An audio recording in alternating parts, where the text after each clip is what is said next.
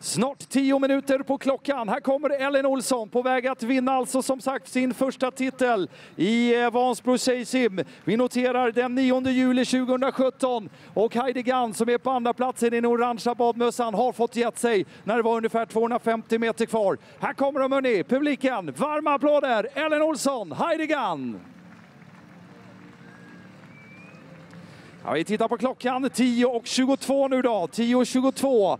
och vad sa vi nu? 10.57. Ah, jag tror det blir svårt att rå på den där rekordtiden, men det kommer inte vara långt efter. Det kan gå. Nej, det kommer inte att gå. Men applåder får hon, Ellen Olsson, som hon har gjort där. Vilken fantastisk simmare! Det här är en tjej som missade OS-kvalplatsen med bara en placering till förra årets eh, olympiska spel i Rio de Janeiro. Jag tror att det här är en tjej vi kommer få se i Tokyo Tokyo 2020. Då är distansen 10 kilometer, den olympiska distansen. Här kommer hon, klockan placerar just nu då eh, rekordtidet, men det kommer bli en seger för Ellen Olsson. Här kommer hon! Applåder hörni!